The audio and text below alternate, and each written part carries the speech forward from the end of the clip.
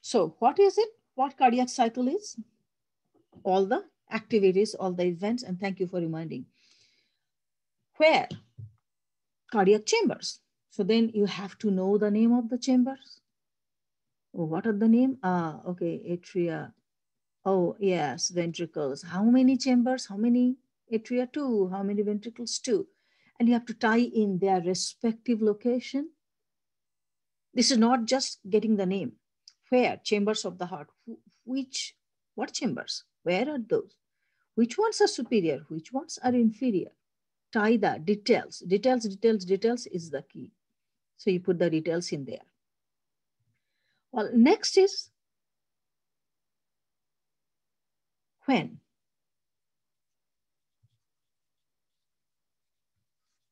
These processes, these are basically different processes. When does this, when does this cardiac cycle occur? When does it happen? All the time?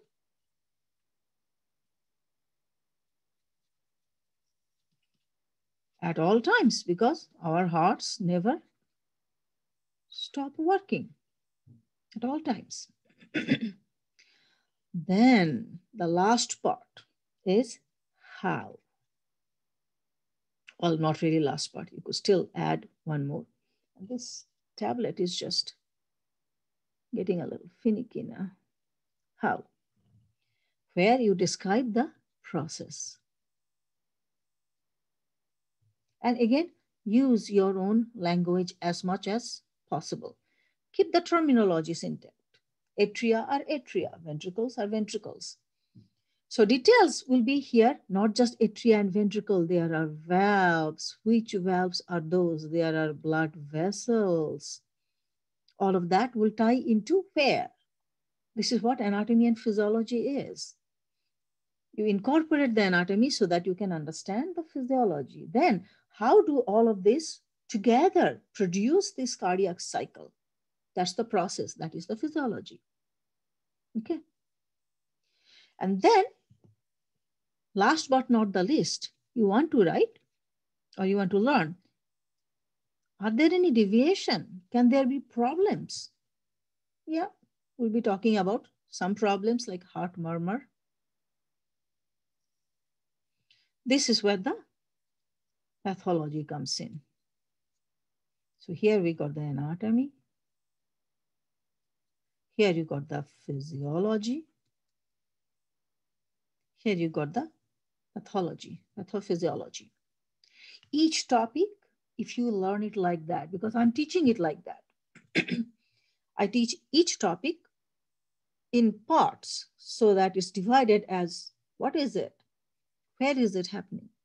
When? It's not applicable always. When is not always applicable, but put it in there. What the heck? How? And are there deviation?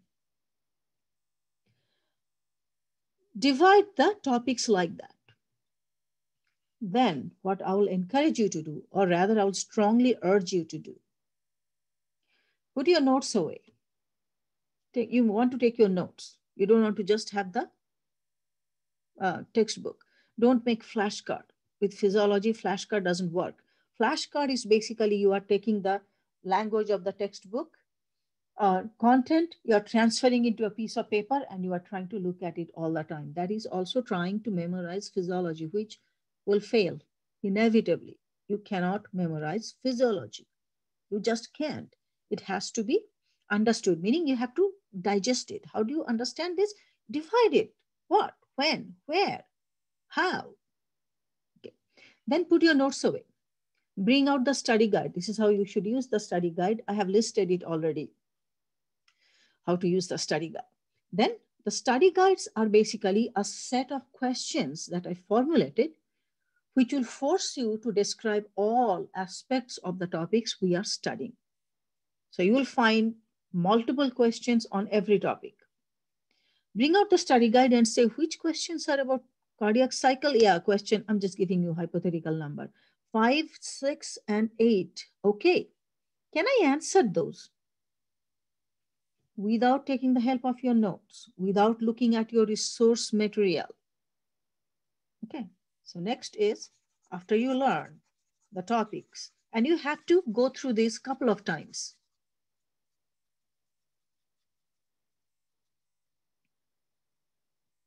Then bring out the study guide.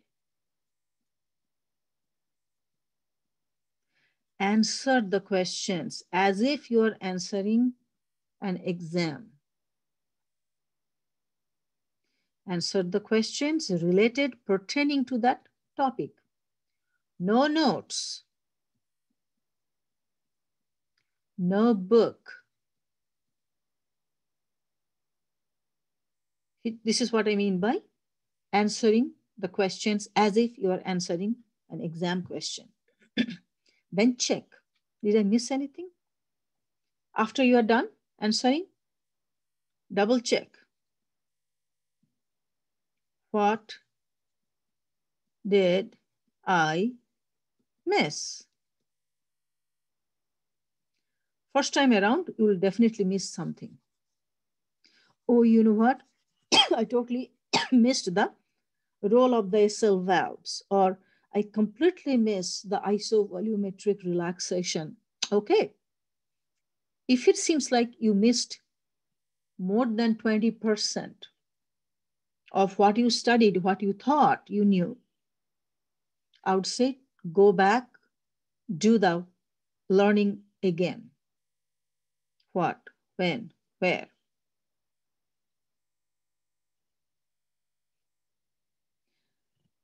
Take it further. The next one would be explain to someone. This is why study groups are so necessary. I have a study group forum in the discussion board just for that purpose. Whoever wants to form study group, post there. Make study groups. Yes, we are online, but there is no reason why you can't collaborate and study. Basically, this is your peer group. Explain to another. And that another should be your peer. I have had students who said, I explained to my boyfriend, I explained to my girlfriend. They said, I did fantastic. My response is, what do you expect them to say? Is your spouse or your significant other or your kid or your parents, are they going to say, I didn't understand a thing of it, honey, but whatever, you, you did great. Now how about dinner? You know, your peer, someone else who understands what you are talking about, not your family members. If your family members understand, that's different to another, your peer. Without notes, book, or any other media. If you can, at the end, if you can do this and this, you have understood. this is what we call a complete learning. After that, active recall. Let's say you have done this the second week of class. The exam is fourth week of the class. Before the exam, active recall. What you can do is active recall. And you can continue to do that. Let's say you are, you know, you are at work and you got a little bit of break and you're thinking, ah, what should I do? Oh, let me sit down. How much do I remember? Do I remember that cardiac cycle that I studied a week ago? What do I remember? Active recall is actively trying to extract the information from your brain. Try to remember. Wow, why this tablet is doing that? What you studied. If you follow through with this and the check and this, and you do the active recall, engage in that, there is no reason why you wouldn't do well in the, in the exam and in the class. I'm not teaching to test. In a way, I am. But basically, what I want to make sure as your professor, as your educator, and as someone who knows what kind of challenges you will have to face wherever you happen to go from here, um, that, that you're fully prepared for it. I want to make sure that you are understanding. In the process of learning and understanding, you pick up a lot of skills that you may not be aware of. So the class will seem hard. And I will say, yeah, it is hard. It is definitely rigorous. Uh, would I push you to learn? Of course, I will push you to learn. Would I actually do what I'm saying I would do? Yes, you can bet. I will. Some of you already know that. Okay? I even sometimes, you know, when things are lighter, I usually say, okay, you know, don't take me as a working dog. This dog will bite and bite hard. Because my role as your educator to make sure that you are going out of this class, exiting the class fully prepared to take this skill, take the information, take the content, take the knowledge, and apply it to the next level. These are part of nursing credit courses. Okay, so basically these are considered the nursing credit. So these courses are taught at the level of a nursing program because they are nursing credit courses. Okay. And if you feel like, well, I'm not going to go into nursing, all other allied health fields are pretty much similarly rigorous. Cardiovascular technology, respiratory therapy, those are all pretty challenging programs. Okay, so this is how you should be studying. And I hope you took notes of what we just did. Okay, any question I can answer? What time is it? 10.25, we got 20 minutes. I'll go through the introduction of the heart.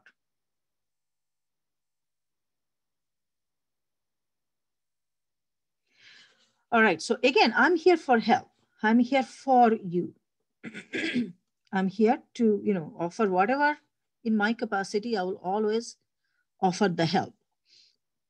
Feel free to ask me whatever you are confused about, whatever questions you might have. Don't hold back, ask. uh, I want to bring up this cardiac physiology. Okay. So then uh, let me start a new share. So the class schedule, if you looked at the class schedule, the class schedule basically says that the first two lectures and the Thursday is the lab. For the lab, the cardiac anatomy is going to be discussed in details. Okay, so right now for first class, I just barely introduce the heart functions. Next class, Wednesday, we are going to go, you know, we're going to dive in, so to speak.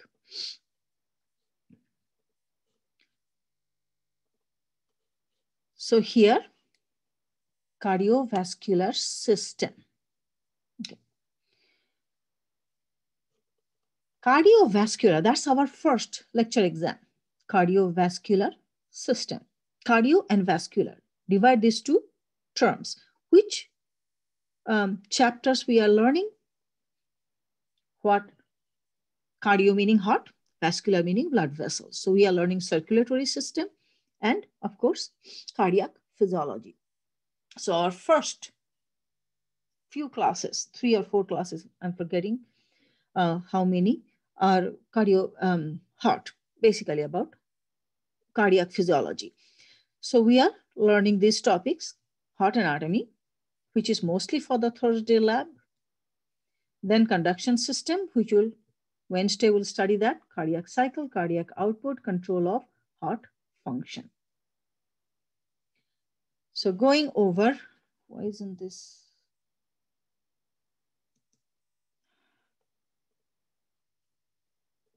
Some of this is just freezing up. Okay, maybe I'll just use the page down.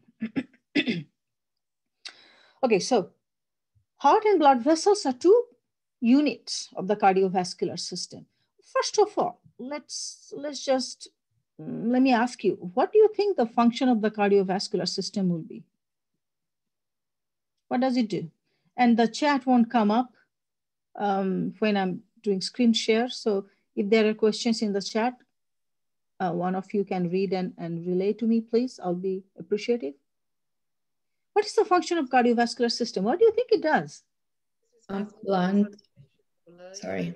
Pump blood and oxygen to the body Oxygen, okay, oxygen supply. That's one thing. What else you think? Distributes nutrients. Nutrient supply, yes, of course, basically supply of anything and everything. What else does travel through blood? Moves waste. Waste products, yes, waste products. What else?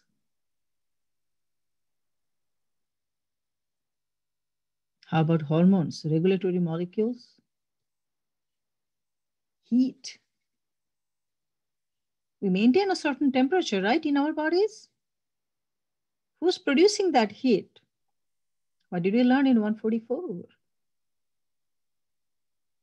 Which tissue in our bodies produce most of the Muscles. heat? Which muscle? There are three types of muscles. Skeletal. Which one is skeletal? Good. Okay, and that heat is to be distributed via blood.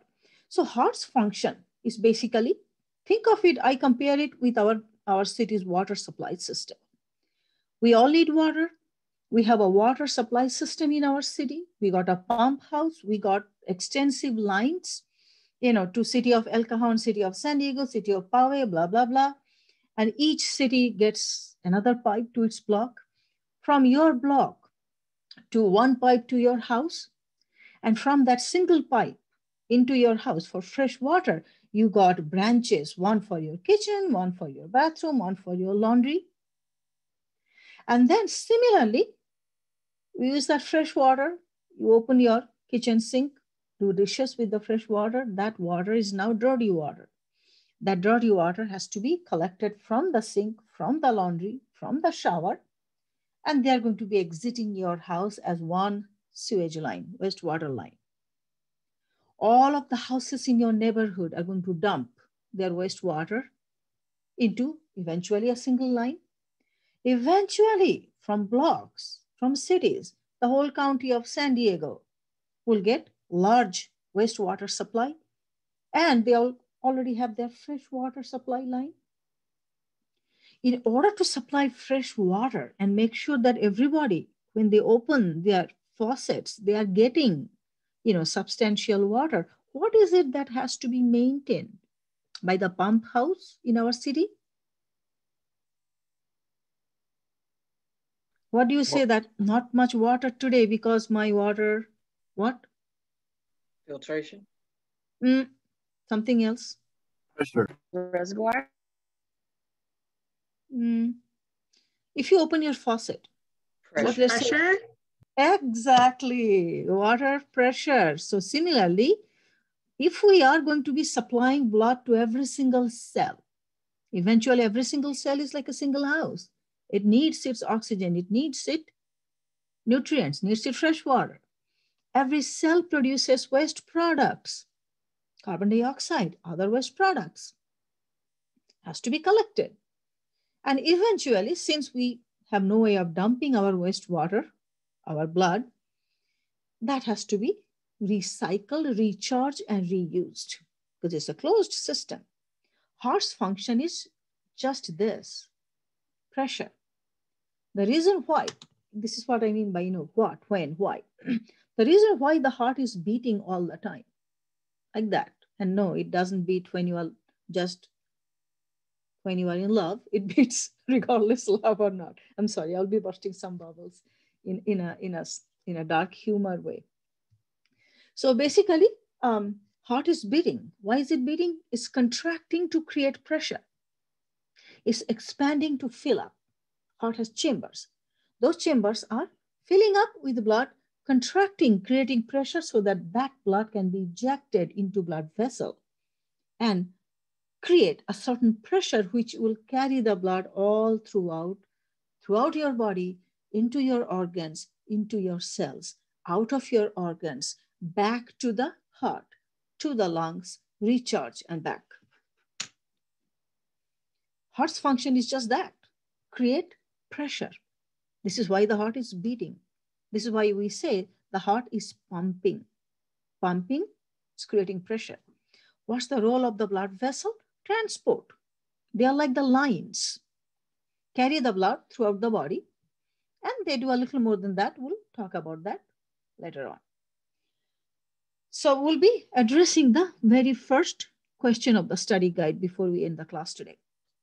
So since it's a closed system, we are using the, the cells are taking oxygen nutrient away and dumping their waste products into the blood. The blood has to go through a recharging system.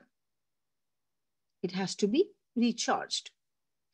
And which organs are taking care of that recharging the blood? The lungs. So since we are dealing with oxygenated blood like fresh water, wastewater, one line for fresh water, one line for wastewater, one system to deal with fresh water supply, another system to deal with wastewater supply. In our body, heart is doing both. It's dealing with fresh blood, which is oxygenated blood. I usually just write it as O2 blood and deoxygenated blood. Deoxygenated blood is the blue. Typically, that's what it's drawn as. Oxygenated blood is the red. That's what is drawn at. So heart is dealing with both.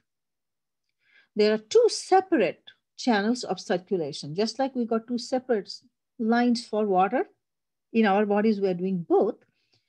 The heart is dealing with both. As you can see, there are two channels of circulation.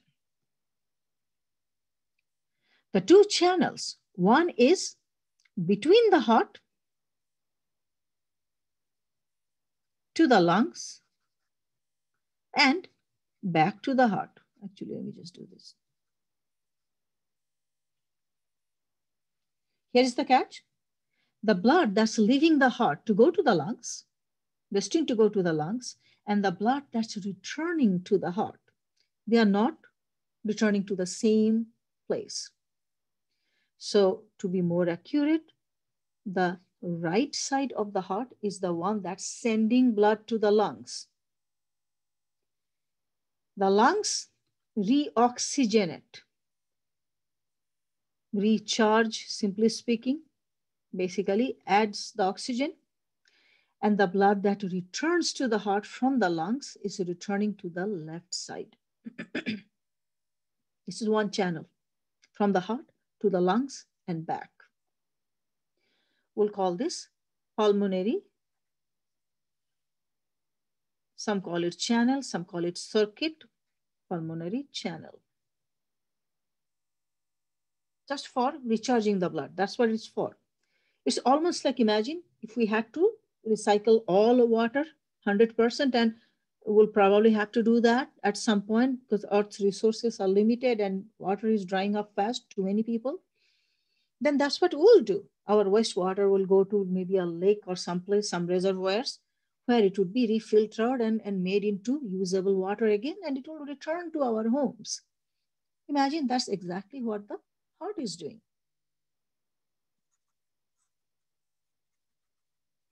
What is the other channel then? The channel that supplies that oxygenated blood. So from the heart to the rest of the body, meaning everywhere, and back.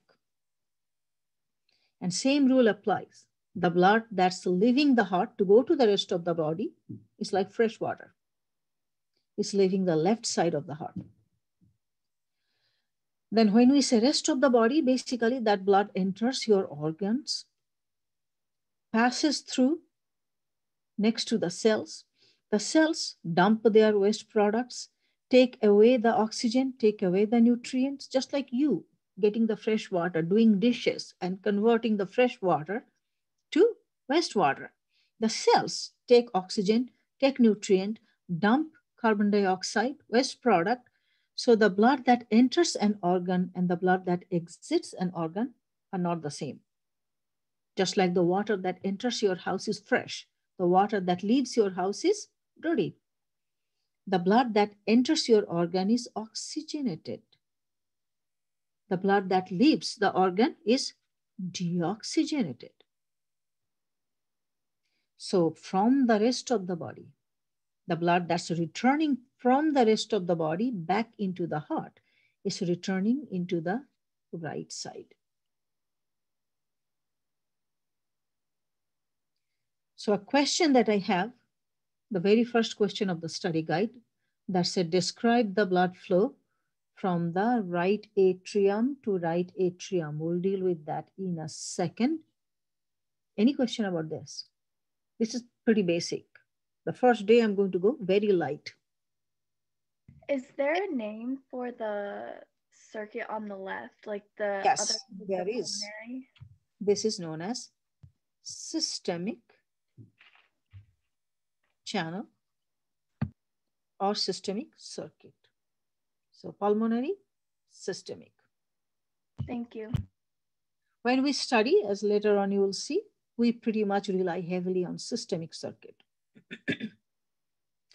Let's just take a quick look at the heart. The detailed anatomy, we're not covering it just enough so that we understand what's going on from this class and next class onward. So the heart consists of four chambers. The two superior chambers are atria, atrium individually. And I would also urge you to remember uh, to look at the spelling policies, just like 144. Atrium is the single, atria is the plural.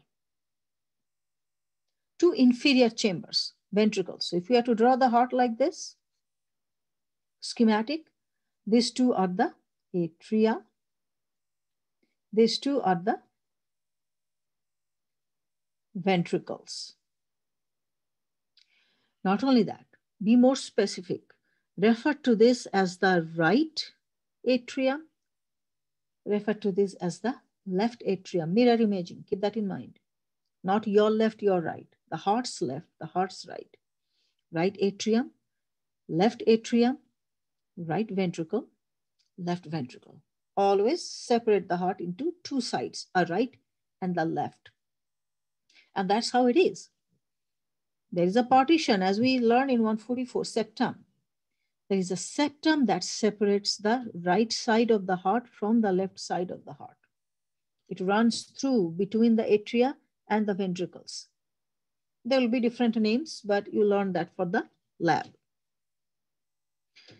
Something else. There are also valves. Because we're dealing with the moving fluid, blood. There are valves. valves have pretty much one function. So we got the chambers, atria and ventricle, septum, which have different name. So I'm going to draw the heart here again, right there, there. Where are the valves? Okay, first thing first, do you think there are blood vessels coming in or going out, entering and exiting the heart? That's a pretty silly question. But do you think there'll be blood vessels? Yes. Of course, we just talked about the blood returns from heart to lungs and back, from heart to the rest of the body and back. We just talked about all of those. That means there must be vessels that are entering and exiting from the heart. So basically, there are vessels that are entering and exiting from the heart. Those that are entering, they're entering at the atria. That's the flow of the blood. Vessels into atria, separate ones for set of vessels for right atrium, separate vessels for left atrium. And then there are vessels. I'm just going to draw this as schematic. In reality, the vessel's position is slightly different. There are vessels that are exiting the ventricles. The blood flow is always one way, which is from vessel into the atrium, into the ventricle, out through the vessel. Same with the left, from vessels into the atrium, into the ventricles, out through the vessel. So where do we find the valves? Here, between atria and ventricles, and here, between ventricles and the vessels that are connected to those. And instead of memorizing, oftentimes the names are telling you what these valves are. These two valves, let me actually just put different colors. These two purple valves, what I drew in purple, these two between the atria and ventricles. Guess what we call them? Atrioventricular valves. There are other names, we'll learn that for Thursday. Atrioventricular, between atria and ventricles. And how about these yellow valves? What do we call them? What might we call them? These are not called ventriculovascular valve, but they are named based on their shape. S sorry about that. I'm getting notification about meetings. So basically, these yellow valves, the valves between the ventricles and the vessels, they are named based on their shape. They are called SL valves, semilunar, because their cusps look half moon shape. There are other structures here. Let's not worry about that. Let's just go over this in and out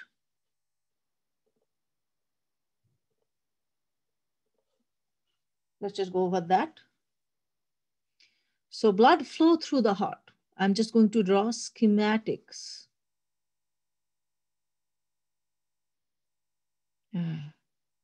Oh, well, kind of hard to make it uniform with the tablet here. So schematics meaning I'm just going to draw a square and I'm going to separate that square into a superior and an inferior part. So these two are the atria, right atrium, left atrium, right ventricle, left ventricle. There are two vessels that are carrying blood from the body into the right atrium. There is one vessel that's carrying the blood away from the right ventricle there are two sets of vessel, overall four, that are bringing blood from the lungs. So this is from the lungs. This is, well, you'll answer that. And there is one set of one large vessel that's carrying the blood away from the left ventricle. The names, you will learn them but I'm just going to go over those. The two vessels that are bringing the blood back into right atria from the entire body. Those are called superior vena cava, superior because it's entering superiorly, and inferior vena cava. Now, what kind of blood is this? Oxygenated or deoxygenated? Deoxygenated. Deoxygenated because it's coming from the rest of the body. It's wastewater. This deoxygenated blood passes through which valve? The generic name? The atrioventricular valve. And atrioventricular valve on the right side with this as a name, but don't worry, you will learn that. Then exits via a vessel.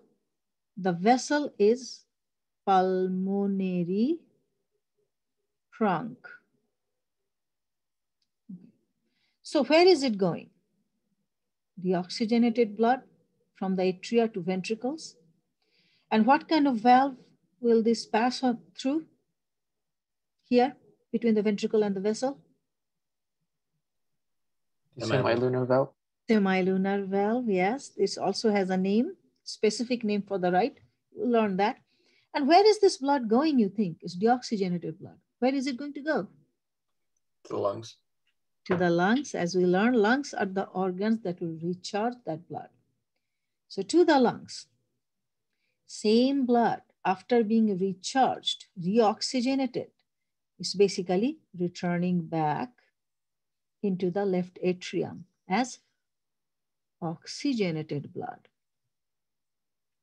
Just like wastewater became fresh water. From the left atrium through another AV valve. So that's what these valves are between atria and ventricles, AV valves. Specific name, you'll learn that later. Into the left ventricle, then passes through another SL valve into this vessel known as ascending, don't just call it aorta, call it ascending aorta. Because aorta is a large vessel. Sometimes it ascends, then it curves, then it descends. Accordingly, it's called ascending aorta, arch of aorta, descending aorta, ascending aorta. Where is this going to go now? It's oxygenated. To everywhere? Everywhere to the entire body. And the cells are going to again get a little share of their oxygen nutrients, do dishes, take shower, so to speak, turn the blood into the oxygenated blood, which is going to return again via these two vena cava into right atrium, into right ventricle, and this whole cycle will keep going on. This is why the heart never stops, because the need for oxygen never stops. If the heart stops, what do you think the first thing that would happen? From what we learned so far, I know I'm going over time five minutes again. What do you think will happen? If the heart stops? Yeah. Massive oxygen deprivation. We'll talk about this, but it's known as hypoxia. We'll talk extensively about hypoxia. Massive oxygen deprivation, which is going to kill all the cells, meaning all organs are going to be dead. This is why heart is a critical organ, the most critical organ, because survival of every other organ depends on the heart, its function. Okay, so that would be today's lecture. It's really light. Next class onward, you will see that the physiology lectures are going to get a little more intense. Any question that I can answer? Uh, just a just a quick one, just to refresh my memory. The right side where the Mm-hmm. deoxygenated blood, that would be the pulmonary circuit, and then the left side would be the systemic circuit. Exactly. Okay. Exactly. Thank you. Pretty much the circuit is, is between the ventricle and the organ that's receiving the blood from the ventricle. So right ventricle to lungs and back is pulmonary circuit. Okay. The blood is returning to atrium, not a ventricle. So that is this is pulmonary circuit to the lungs and back. Systemic circuit is from the left ventricle to everywhere, Everywhere. entire body, and back to the right atrium. Systemic circuit. All vessels that fall in this route are systemic vessel. All vessels that fall within this route are pulmonary vessels, arteries, veins, etc. Any question, any other question I can answer?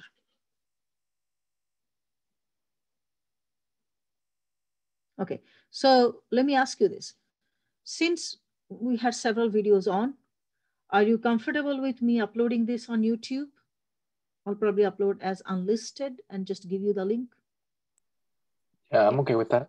Yeah, that's fine. Okay, okay. I know that several people have subscribed. Um, subscription basically, if uh, if you guys have subscribed and you want to know that the, the video is up, then I have to make the videos public. Okay. Um, as soon as the semester ends, I'm going to take all those videos off and make them private and delete some of them. But while the semester goes, my option is either videos are public and, and you guys subscribe and you know, the other option is I make them unlisted and I have to individually link, upload the videos and produce the link in the canvas, which I can, it will take a little longer. So if there are no concerns about the videos and nobody's watching other than our classes, the playlists are different. Uh, if you have concern, let me know. If I don't hear from students that, that yeah, I'm concerned about this, I would assume that there are no concerns and I'll upload these videos. Yeah, I don't I don't mind either way. Okay, okay, alrighty. Okay, alrighty. So thank you for some of you are making, uh, you know, uh, taking the initiative and, and, and forming study group and, and creating different links. I really appreciate that. Join a study group before you can spell study group. There are really, these are excellent ways, especially we are cut off from people. This gives you a, a little bit of your support group. And I know some of the minutes of the study sessions going to whining about the class and complaining, uh, you know, about the professor. And uh, I'm perfectly fine with that as long as it reduces your stress and you don't spend too much time complaining, but more time goes into studying. Maybe five minutes you complain. Did you look at that exam? That was so hard. What did she think? What was she thinking? I did in my time. You're going to do that. That's, I'm, I'm totally fine with that. You don't have to like me, but you do have to do what I'm asking you to do for your own good. So make a study group as soon as you can. And make a calendar, make a schedule, and plug in some study time. and um, Pomodoro technique, I'll talk about it later, especially as we go later into the semester. There's a technique known as Pomodoro technique. The Pomodoro technique basically based on studies that says that if you're sitting there for a good chunk of time, just trying to learn things, then again, the, the last half of that time is, is wasted because you are not learning anything. You have to break it up. So for study sessions, I know that many of you have job, family, etc. to balance. So if two hours on Wednesdays and two hours on Fridays, I'm just giving you random time, is when you all can meet. I would say go for a 45, 50 minutes, give it a five minute break, stretch, just walk around where you live, come in contact with outside air, come back in five minutes, start again. You'll notice that your learning is much better that way. As opposed to, we got this two hours, let's just sit through and do it all. No, one hour is going to be wasted. Okay. Thank you guys, and I'll see you on Wednesday. Thank, Thank you, you. Thank, Thank you. you. Thank Uh-huh. you. Have, a, have a nice day. Thank you. Mhm. Thank you. Thank you.